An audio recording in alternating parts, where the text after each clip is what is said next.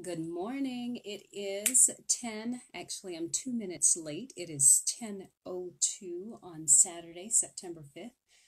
And I pray that your day is off to a wonderful start. Wanted to come in and talk about a mental health series that I'd like to do. Who's in your circle? I mentioned this a couple weeks ago, but um, well, actually last week um, I mentioned it, and um, I actually thought about it when I looked at Chadwick Boseman, and they were talking about how um, those that were in his circle did not betray his confidence and they kept his business private. And I thought about that and said, wow, who's in our circle? Who are we allowing in our circle to make us better, to make us um, uncomfortable, to uh, um, help uh, change our trajectory and influence us. So, place that was that's actually what triggered um, this um, portion of the mental health series that I'd like to go through. Uh, we will be doing this every Saturday. Um, I will be in class um, in about two weeks, so I will miss that Saturday, but I'll do the recording in advance. Hey, cousin Cheryl. Hey, bless Bessie and Alicia. Um, so let me start off by saying um, I know for a fact that many of us struggle to live resilient lives. So my passion is to provide the tools necessary for us to uh, revisit our belief systems. I want to challenge us to abandon unproductive thoughts. Um, own our behavior, and I want to celebrate with you as you begin to live your best life. Okay, so my my uh, uh, personal mission statement, and I think that everybody should have their own mission statement because you are your own brand. Just like Nike has its brand, um, all of these companies, Adidas has their brand. You are your own brand. And so I believe you should have your mission statement. And so my own personal mission statement is uh, I want to provoke your thoughts. I want to inspire you to own your behavior and I want to challenge you to do better. And so the first letter, P I C, it is my call and my duty, my responsibility in this earth to always pick you up, provoking your thoughts, inspiring you, inspiring you to own your behavior and challenging you to do better. That's what I want, okay? So let's jump right in. This is only going to be about 10 minutes, so bear with me. Um, one thing that I wanted to talk about as it relates to who's in your circle, earlier this week we uh, talked about it cannot be unless you agree. And we talked about those people um, and those things that we agree with. Amos 3 and 3 says, How can two walk together? How can husband and wife walk together? How can business partners walk together? How can uh, church members walk together unless they are in agreement. Now, there are going to be moments where you you you may have to come to a conclusion that we will agree to disagree, but that is still an agreement that you are making. You're saying that we can't see eye to eye on this particular situation or on this particular subject matter, but we are agreeing. We are coming into agreement that we will disagree. That is still an agreement. Okay? All right, so that's Amos 3 and 3. The next one I want to just bring to your attention quickly is John 17, um, and I think around the 20th verse. Jesus begins to, uh, uh, he's praying because he knows that he's about to ascend into heaven, and he's praying for the disciples, and he's telling the Father, you know, Lord God, make them one with us. He's saying, just as you and I are one, because if you recall, Jesus says, I always do what I see the Father do. Hi, Kenyana. Good morning. Good morning. Good morning. If you recall, um, uh, throughout those Gospels, Matthew, Mark, Luke, um, and of course, you know, you have the synoptic gospels, Matthew, Matthew, Mark, and Luke, and then you've got, you know, John, which was a little bit different, but John still uh, uh, uh, uh, tells about Matthew, Mark, and Luke. It's just that Matthew, Mark, and Luke, those things, they were close, close, close, close in um, their, um, uh, uh, oh, what's the word? Help me, Holy Spirit. Um, in their um, interpretations, in their um, perceptions around what they saw and was going on with Jesus. With John, you'll see there's just a little slightly different. Uh, some of the things that John covers uh, in the detail that he covers them, the way that they cover he covers them may not necessarily be um, the same that you see in Matthew, Mark, and Luke. But uh, uh, but that's neither here nor there.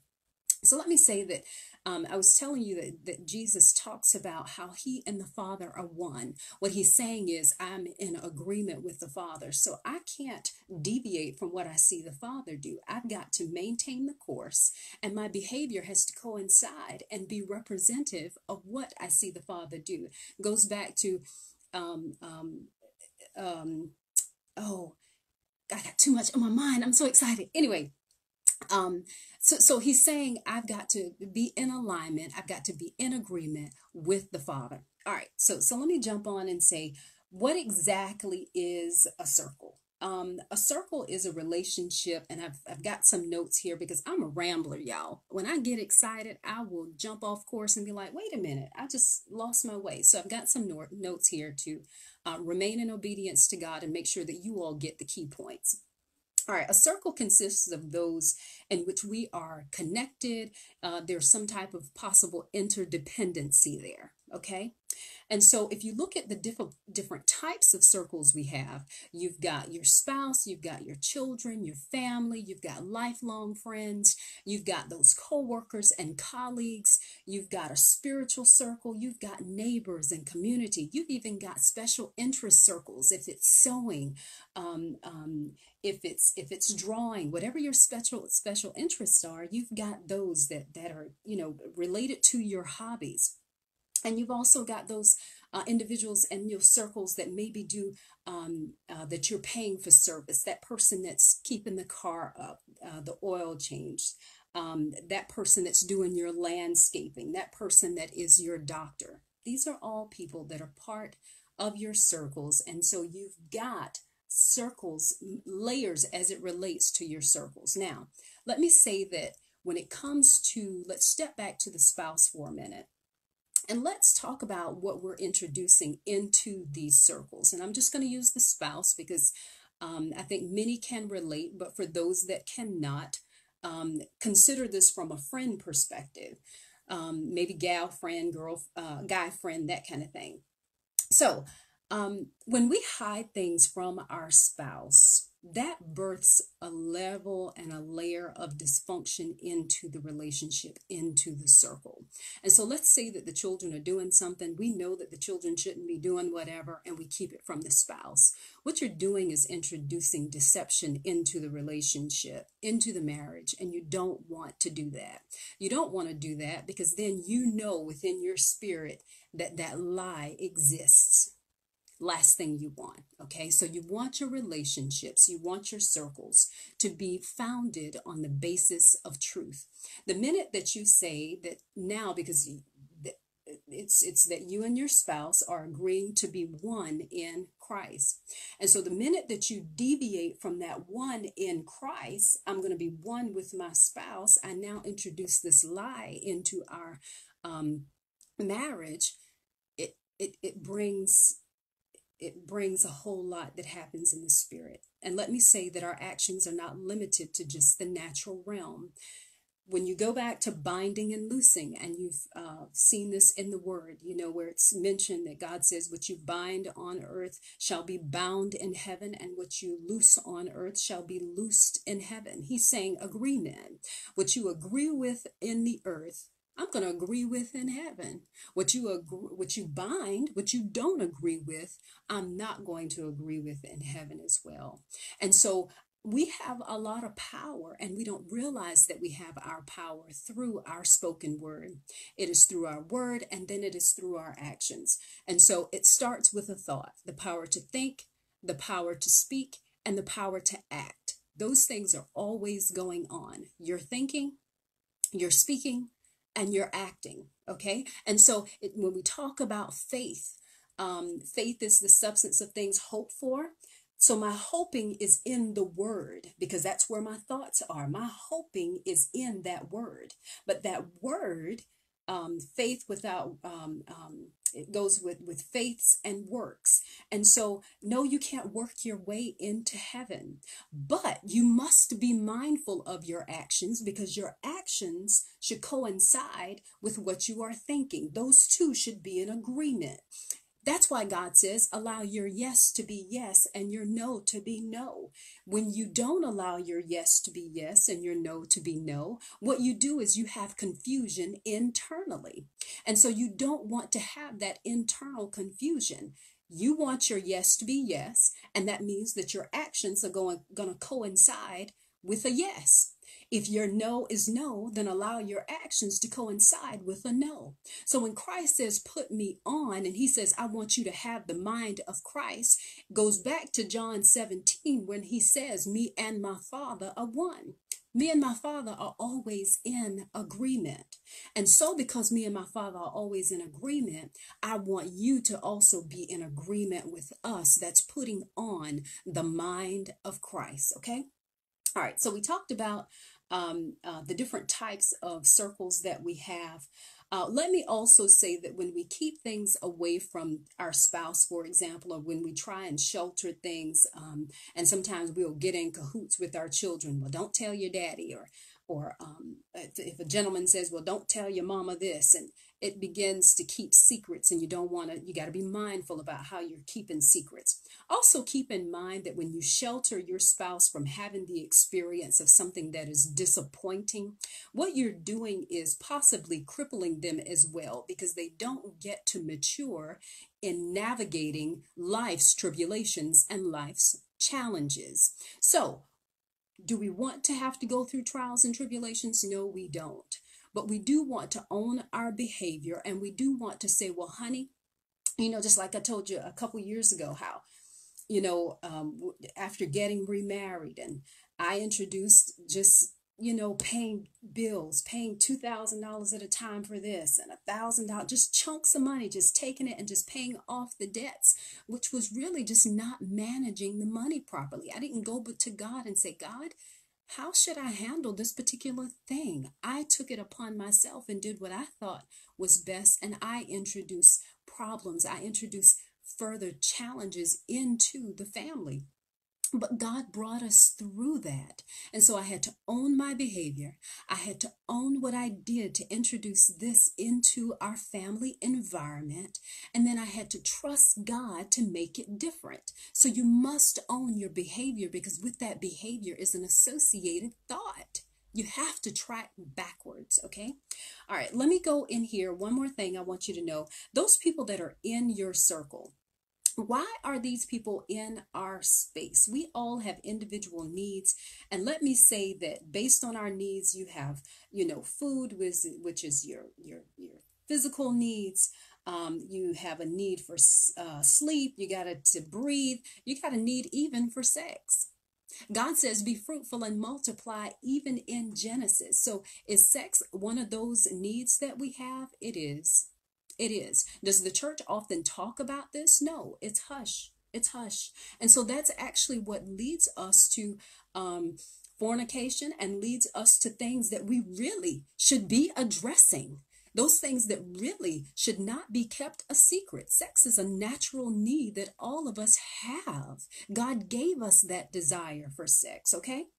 Let me also say um, we've got a need for safety, to feel secure, to love and belong, for friendship. We've got a, a need for esteem, for that confidence, for the sense of achievement, and oh, I want to be respected and valued by others.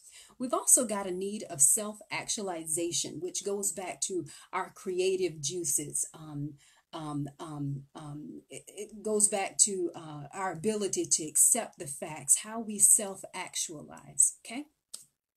Um, something else that that that uh, well, I'll, I'll I'll wait on that one. So here's what I'm asking you to do because I'm going to do this over a series, and I don't want to just like gorge you with information. Um, but this is part of our mental health series for September. Um, I would like for you to consider over the next seven days. Take 15 minutes and I want you to jot down the individuals that are in your circle, those that are closest to you, um, and those that are out in the distance. And I want you to assign whether this is a healthy relationship, meaning that it is birthing constructive uh, life and fruit and growth or whether you really know that this is probably an unhealthy relationship. And I want you to consider the details about that relationship and, and how you are managing that relationship. Okay. Now, let me say that many of us form triangles. Uh, let's talk about triangles for a minute. And these triangles, uh, when something troubles us, think about that guy or that gal that you'll pick up the phone and you'll call when something is troubling you what we do is we triangulate and we will bring people into the triangle that don't need to be there. That don't need to be there. That don't need to be there. You got to get to the point where you become a, mature enough to handle the challenges that come in life where you can pause and say, Spirit of God, what would you have me to do? Or you're able to crosswalk this event that you're going through to the Word of God. Now, does that mean that you will not be in uh, uh, reaching out to um, other spiritual leaders about guidance? No, that's not what it means. It means that there will be moments that you will have to do that, but that should be the exception and it should not be the norm. This should be a conversation that you're always having with God. Good morning, Gail. Um, that you are having with God. So be careful how you triangulate. I'll give you a personal example because I'm you all know, and if you haven't learned by now, I'm very transparent. Um, I'm transparent because the mask uh, uh, enabled me to live lies. And in the lies, I lived an unproductive and an unfruitful life. And so, because I want to bear fruit, that means that I have to remove the mask for God to unearth and to excavate, to have that excavation, for God to unearth those things in me that, that I don't know and sometimes don't realize that is there. But my mother, give you an example. I can remember going and talking to mom, and in my first marriage especially and i'd be man i'd be going off and he's this and he's that and he's mom would kindly say i think you need to go back and you need to talk to your husband. And it was never what i wanted to hear but it was what i needed to hear. What mom was saying was i want you to go back I want you to develop a level of maturity. I want you to own your behavior. I will not engage in what's happening between the two people to be that third party because I risk doing more harm than good. And I want you to step up because I want your marriage to work. I'm going to bow out of this marriage. I'm going to step out of it. Okay? So don't triangulate. Write down those people that, that are in your space. Um, um, uh, and and the relationship that you have with those people if it's healthy or if it's unhealthy. And this is the last most important thing that I'm going to leave you with that I want you to think about. I want you to think about are you a part of your own circle? That's the question. Are you a part? Are you a member of your own circle? Or have you checked out of your circle?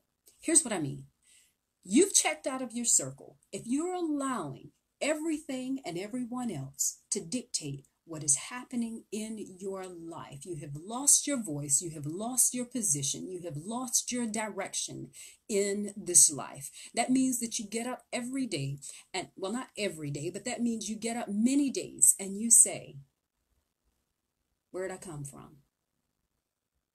You say, Why am I here? You say, what's, what's, I don't know what's right and wrong anymore. I, I, I don't know what's right and wrong. And you say, I got to leave here. Where am I going? What am I leaving behind? Have you checked out of your own circle? Is the question I want you to ponder, that I need you to ponder. Okay? All right, we're going to end in prayer, and I want you all to slay the day, obey, and walk in the way. You hear me? I need that t shirt. Who's a t shirt maker? I need that t shirt. All right, Spirit of the living God, we thank you and we praise you for this, this moment to pause and be reflective and to think about you. Lord God, you know, we know that when we go into the churches, we know that when we read our Bible, it's all about you and the Word. But God, there's also a mental portion, a mental health portion that you want us to focus on, that you want us to concentrate on. Yes, we get our spiritual food, but yes, we must also have the mental food that helps us to become better.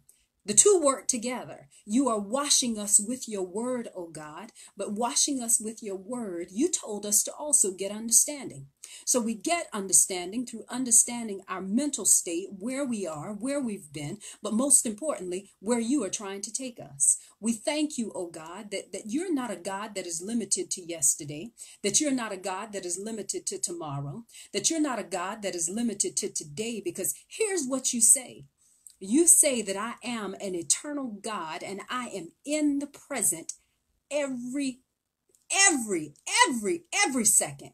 You say that I'm not even limited to your second because when you say that it's a second, you say that I'm limited by time. So, Lord God, you are a forever present. You are a forever presence. You are not boxed in by the boundary of time, nor are you limited by time, oh God, but you gave us time to help us manage and to navigate our day and to manage and to navigate our assignment and our purpose and our call in this earth. We look to step into that as we go through this series. I ask you in the name of Jesus for any woman that may not realize the, the chains or the bondage or the confusion or the doubt or anything that she's wrestling with because of the things and the people that are in her circle. I ask you now in the name of Jesus to bring revelation to her. I ask you to strengthen her, oh God, and endue her with a deeper depth of your power and the authority that you said that you left to her. Remind her of who she is, an ambassador an ambassador, oh God, an ambassador in this earth representing you, and remind her that she is more than equipped to do and to fulfill the purpose and the call. But I hear her. I don't know why I'm here. I hear her. I don't know my purpose. I hear her. I've just given up and I, I, I just don't know where to start. Lord God, help her to start today. Help her to stay the course, not only start, but help her to stay the course as she resides in you. In Jesus' name, we thank you for opening up the portals and the gates of heaven. We thank you, oh God, that we are able to receive and that we walk under the blood covering of Jesus Christ. For those women that may have abandoned the course, I ask you, oh God, to draw them back to you, that they in this moment will confess and repent and say, Spirit of God, I know that I need you in my life.